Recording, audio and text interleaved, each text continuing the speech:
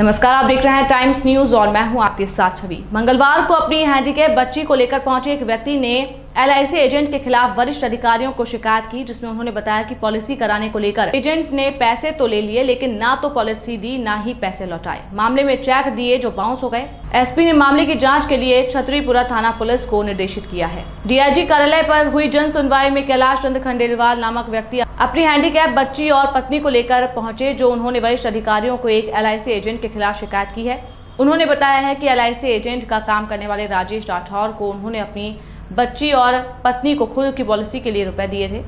आवेदक के अनुसार उक्त एलआईसी एजेंट से उन्होंने पूर्व में भी पॉलिसी ली थी।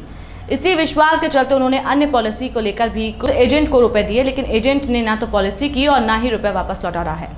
आवेदक द्वारा विरोध करने पर एजेंट द्वारा उक्त रुपए से संबंधित चेक दिए गए। लेकिन जब आवेदक ने उन चेकों को बैंक में लगाया तो सब बाउंस हो गए। काफ़ी लंबे समय से परेशान होने के बाद आवेदक ने जन सुनवाई में न्याय की उम्मीद लगाकर आवेदन दिया। श्री महेश चंद्र जैन के अनुसार आवेदक द्वारा की गई शिकायत को ध्यान में रखते हुए छतरीपुरा थाना प्रभारी को जाँच के निर्देश दिए हैं। ये दीपाली खंडेलवाल।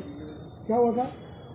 इसकी पॉलिसी के लिए पैसे दे चुका था मैं। हाँ। उसने ना पॉलिसी दी है आज तक ना पैसे लौटा है गायब है बिल्कुल। किसको दी थी आपने? राजेश राठौड़ को। वो नहीं है? मऊ नाके चौराहे पर ब्रांच है उसकी। एल एजेंट है एजेंट है।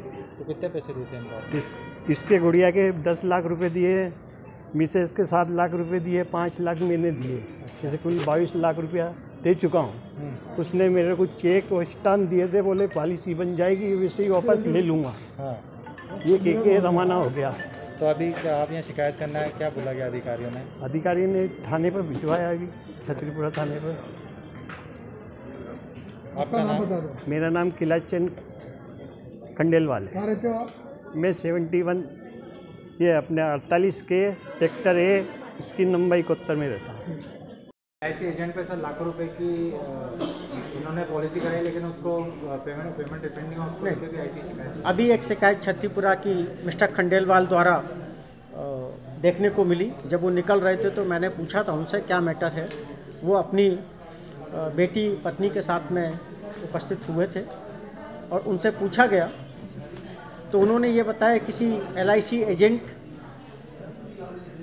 को उन्होंने उनकी पॉलिसियों से जो पैसा मिला था, वो उसको दोबारा से पुनः पॉलिसी में लगाने हेतु दिया था, परंतु उसके बावजूद वो उसका पैसा वापस नहीं कर रहा।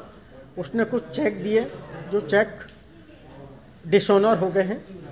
थाना प्रभारी छत्तीपुरा को निर्देशित किया है, आवेदक को बोला है, वो जाएँ छत्तीपुरा थाने पर और उसमें उसकी कार्रवाई होगी। अपराध कायम हो रहा टाइम न्यूज़ देखिए अब आपके मोबाइल और स्मार्ट टीवी पर। लाइव प्ले स्टोर से डाउनलोड